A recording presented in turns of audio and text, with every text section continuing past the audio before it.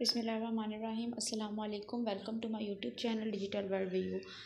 C S three one two की assignment number one का solution मैं आप लोगों के साथ डिस्कस करूँगी। यहाँ पर एक स्नैरियो गिवन है ऑनलाइन क्लॉथिंग स्टोर का, जिसमें आपने क्या बताना है कि इसमें हमारे पास डाटा और इन्फॉर्मेशन के कितने एग्जांपल्स हैं और उसके बाद इसकी फ़ंक्शन रिक्वायरमेंट्स कौन सी है। हर चीज़ इस स्नैरियो में गिवन है। अब ऑनलाइन क्लॉथिंग स्टोर है, एक वेबसाइट हमने बनाई है, एक प्रोजेक्ट है, जब भी आप ऑनलाइन शॉपिंग करते होंगे तो आपको पता होगा कि उसकी फ़ंक्शन रिक्वायरमेंट्स कौन कौन सी है, जिन पे वो वेबसाइट वो एप्लीकेशन बेस करती है। हमने रजिस्ट्रेशन किया, उसके बाद हम लॉगिन हुए। लॉगिन होने के बाद हमने कोई ना कोई आइटम्स है जो परचेज़ करना है, उसके बारे में हमने सर्च किया, उसको कार्ट में ऐड किया। कार्ट में ऐड करने के बाद क्या किया? चेकआउट किया। अपने ऑर्डर को ट्रैक किया, ये सारी डिटेल कहाँ पर मेंशन है? इस स्नैरियो में है। एडमिन के भी सारी डिटेल इसमें मेंशन है कि एडमिन क्या करता है असेस कर सकता है ऑर्डर को मैनेज करते, करेगा। और जो क्यूरीज आएँगी, उसको हैंडल करना। ये सारी चीज़ें स्नैरियो में गिवन है। ये आप लोगों ने रीड आउट कर लेना है। क्वेश्चन नंबर वन है यहाँ पर मैंने लिखा है for examples of data and information लेकिन असाइनमेंट में कितनी है? टू एग्जाम्पल्स हैं। फोर मैंने इसलिए लिखे हैं क्योंकि students as it is copy कर लेते हैं और मैं आप लोगों को पहले ये बता दूँ कि असाइनमेंट को एज इट इज़ कॉपी नहीं करना। ये जस्ट एक आइडिया समझ लें आप। लेकिन ये नहीं कि आपने इसी, इन्हीं लाइन्स को उठाया और कॉपी पेस्ट कर लिया। एग्जाम्पल्स हैं यहाँ पर फॉर डाटा इन्फॉर्मेशन की, जिसमें सबसे पहले क्या आ गई है? प्रोडक्ट इन्फॉर्मेशन प्रोडक्ट इन्फॉर्मेशन किस पे इंक्लूड होती है? क्लॉथ आइटम्स आ जाएँगे उसमें, जो अवेलेबल हैं स्टोर में. उसके बाद नेम क्या है प्रोडक्ट का? प्रोडक्ट डिस्क्रिप्शन क्या है? प्राइस कितनी है? उस पर डिस्काउंट है, नहीं है? साइज़ कौन कौन से हैं? उसके कलर्स कौन कौन से हैं? और कौन सा ब्रांड है? ये सब किस चीज़ में आ जाएँगी? प्रोडक्ट इन्फॉर्मेशन में. ये प्रोडक्ट की हमारे पास डाटा आ गया प्रोडक्ट का।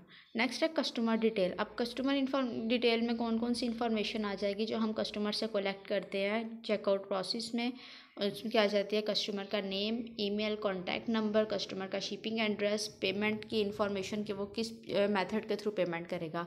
अब क्रेडिट कार्ड डिटेल्स जब हम क्रेडिट कार्ड को चूज़ करेगा तो उसमें क्रेडिट कार्ड की डिटेल सारी मांगेंगे वो। ये उस, किसमें आ जाएगी? कस्टमर डिटेल में। सेकंड ये हो गई एग्जांपल थर्ड पे आती है ऑर्डर स्टेटस नोटिफिकेशन कस्टमर ने चेकआउट का प्रोसेस कंप्लीट किया ऑर्डर कंफर्म हुआ, उसके बाद मैसेज सेंड होगा कस्टमर को इन्फॉर्म किया जाएगा ऑर्डर के स्टेटस के बारे में कि वो, उसका ऑर्डर प्रोसेसिंग में जैसे शिपमेंट आ जाती है डिलीवरी अपडेट्स आ जाती हैं। इसके ऑर्डर स्टेटस नोटिफिकेशन के थ्रू वो क्या करेंगे? कस्टमर को इन्फॉर्म करेंगे। ये भी हमारे पास डाटा इन्फॉर्मेशन है। इसमें क्या डाटा एक तरह से कलेक्ट ही हो रहा है? हमारे पास डाटा पड़ा हुआ है।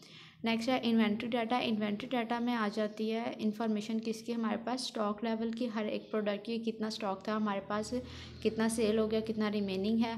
अब इसमें क्या होगा कि जब भी कोई भी प्रोडक्ट सेल हो रही है ना तो ऑटोमेटिकली स्टॉक में से वो लेस हो जाएगी। जब हम ऑर्डर एंटर करेंगे ऑर्डर प्लेस करेंगे। तो ये इन्वेंट्री डाटा में आ जाएगी। नेक्स्ट क्वेश्चन है फ़ंक्शन रिक्वायरमेंट्स हमने बतानी है garment zone online clothing store की। अब यहाँ पर मैंने सेवन मेंशन किए हैं, लेकिन असाइनमेंट में कितनी मेंशन है? फाइव मेंशन है। अब फ़ंक्शन रिक्वायरमेंट्स कौन सी होती हैं जिनके ऊपर हमारा प्रोजेक्ट बेस कर होता है, जिन रिक्वायरमेंट्स पे बेस करता है, जो हम यूज़र से कलेक्ट करते हैं कोई भी सॉफ्टवेयर या वेबसाइट या वेब कोई भी एप्लीकेशन बनाने के लिए। अब फ़र्स्ट इसमें जो फंक्शनल रिक्वायरमेंट आ रही है, वो कौन सी है? यूज़र रजिस्ट्रेशन एंड ऑथेंटिकेशन ये एक इंपॉर्टेंट है। इसमें क्या जब तक कोई भी यूज़र रजिस्टर नहीं करेगा तो वो चेकआउट का प्रोसेस कैसे कंप्लीट करेगा? वो कोई भी प्रोडक्ट है, उसको परचेज़ नहीं कर सकता जब तक वो रजिस्ट्रेशन नहीं करता। रजिस्ट्रेशन एंड ऑथेंटिकेशन ऑथेंटिकेशन में क्या लॉगिन आ जाते हैं? इसको इसको हम लॉगिन भी बोल सकते हैं। ऑथेंटिकेशन में लॉगिन करेगा? डाटाबेस से क्या होगा? यूज़र आईडी और पासवर्ड मैच होगा देन वो लॉगिन करेगा आफ्टर ऑथेंटिकेशन अब यहाँ पर मैंने ना एक लिख दिया मेन हेडिंग उसमें रजिस्ट्रेशन और ऑथेंटिकेशन लिखा हुआ है।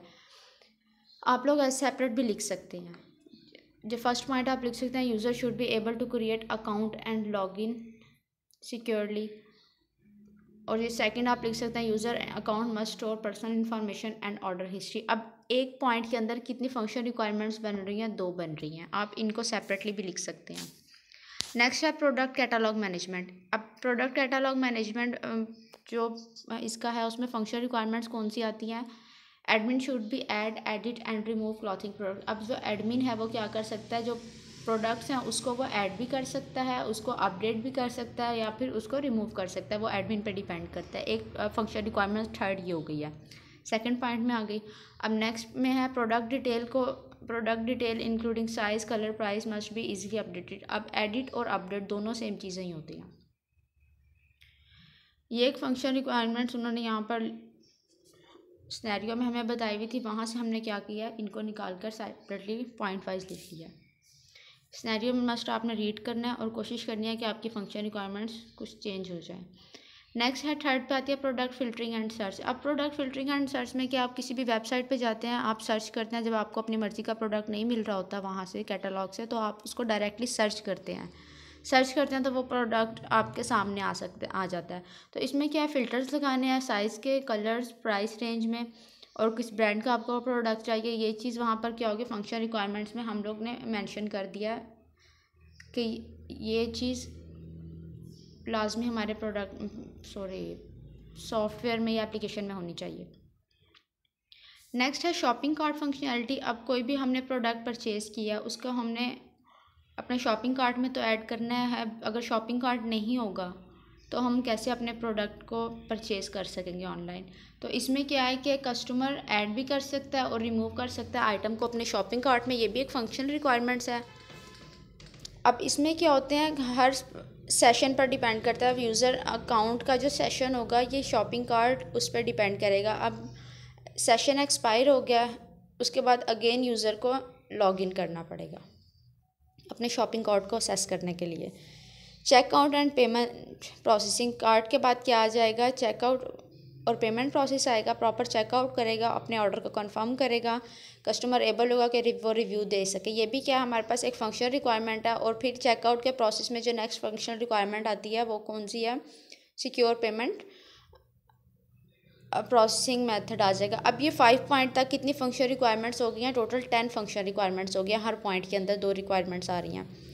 नेक्स्ट है ऑर्डर ट्रैकिंग एंड नोटिफिकेशन के जब ऑर्डर प्लेस हो जाए तो उसके बाद क्या हो कस्टमर एबल हो कि वो अपने ऑर्डर को ट्रैक कर सके और प्रॉपरली उसको नोटिफिकेशन सेंड हो। ये भी एक फ़ंक्शन रिक्वायरमेंट आ गई हमारे पास नेक्स्ट लास्ट में आती है। Personalisation and recommendation system the system should provide personalise recommendation to customer based on their browsing and purchasing history customer should be able to save favourite favourite items and view their order history अब इसमें क्या होगा कि जो customer की history purchase history होगी या browsing history होगी, उसकी बेस पे क्या होगा? सिस्टम ऑटोमेटिकली उन हिस्ट्री की बेस पे कस्टमर को प्रोडक्ट्स व्यू करवाएगा अपनी वेबसाइट पे। और सेकंड पॉइंट इसमें आता है फ़ंक्शन रिक्वायरमेंट्स में कि कस्टमर एबल होगा कि उसकी जो फेवरेट आइटम्स हैं, उनको वो सेव कर सके। या फिर अपनी जो ऑर्डर हिस्ट्री है उसको व्यू कर सके। ये सारी टोटल फोर्टीन फ़ंक्शन रिक्वायरमेंट्स यहाँ मेंशन है। सेवन पॉइंट्स के अंदर आप लोगों ने जस्ट कितनी लिखनी है, वहाँ पर फाइव लिखनी है। अब जो होंगी आपने वो लिख लेनी है और उसके अलावा आपने स्नैरियो को लाजमी खुद डिटेल में स्टडी करना दैन आपको ज़्यादा असाइनमेंट क्लियर हो जाएगी। डिस्क्रिप्शन में यूट्यूब चैनल